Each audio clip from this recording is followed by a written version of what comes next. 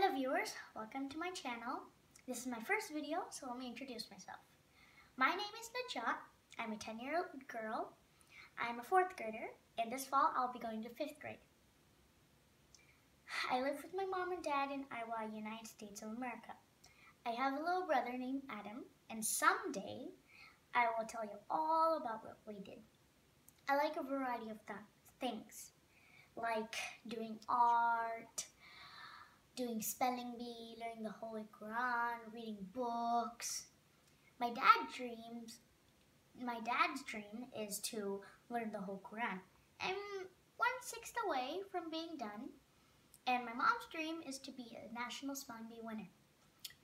I've been doing it for a couple of years. In 2019, I went up to the county, and this year I became the state champion. So I'm still working on it. Personally, I want to be an engineer, but my parents told me to keep my mind open until I'm actually ready to decide. So I'm keeping my mind open. I'm opening this video to inspire others to achieve success. I hope you will support me to achieve success too. But at least we can have a laugh together. Watch out for my new videos. Hope to see you soon. I love it.